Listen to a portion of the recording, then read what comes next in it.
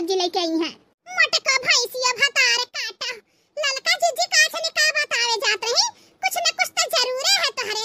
जान तू देवे नहीं चाहत ही भतार काटा जब नहीं, कुछ देबू बड़की जीजी तो तब चली अपने घरे खड़े खड़े हमार गोड़ पिराए लाग।